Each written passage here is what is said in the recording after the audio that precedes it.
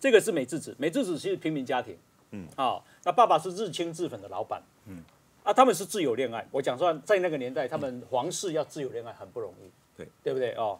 那自由恋爱排除万难，其实也是昭和天皇点头嘛，嗯。啊，说 OK OK 好了，这个让你们就自由恋爱结婚了，这样。我其你你有看到美智子进去活得好不好？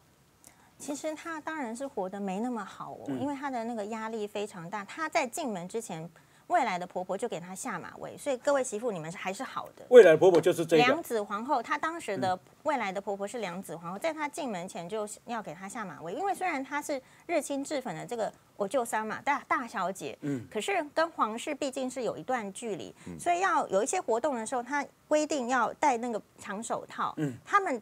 她妈妈哦，到处百货公司去买都买不到需要符合皇室规范标准的这个手套，所以呢就请示皇宫，那皇宫就送出来一副手套，然后结果后来他戴上去之后，被所有的皇族批评说没有礼貌、没有家教，因为那个手套只有一半，没有没有包住这个手臂的长度。可，是那是皇室送出来的啊、而且其实据说是梁子皇后送出来的，根本就是未来的前婆婆送出来的。对，而且因为在这之前，所有的皇室皇族的结婚都是。